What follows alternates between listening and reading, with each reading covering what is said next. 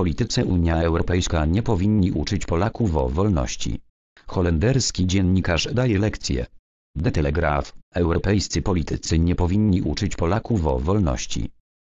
Europejscy politycy powinni lepiej rozumieć historię takich krajów jak Polska uważa Wiert Duk, publicysta największej gazety w Niderlandach. Dziennikarz The Telegraph wskazuje, że politycy nie powinni uczyć Polaków o wolności. Wiert Duk to publicysta specjalizujący się w zagadnieniach międzynarodowych. Był korespondentem w Rosji w latach 1992-2001 a w Niemczech od 2001 do 2006 roku.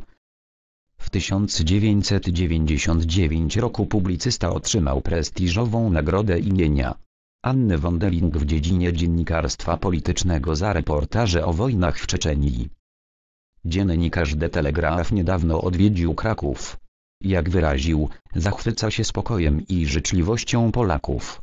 Fascynuje go to jak Polacy są przywiązani do swojej historii i wolności. Polska jako kraj nie istniała przez dziesiątki lat, jednak ciągle żyła w języku i w wierze katolickiej powiedział publicysta w podcaście, który ukazał się w czwartek na stronie internetowej The Telegraph. Polacy zaciekle walczyli o swoją wolność i niezależność, więc jeśli politycy, tacy jak Sopchie Intywelt holenderska europosłanka Red, przychodzą teraz uczyć ich o wolności, działa to tylko w odwrotny sposób uważa Duk.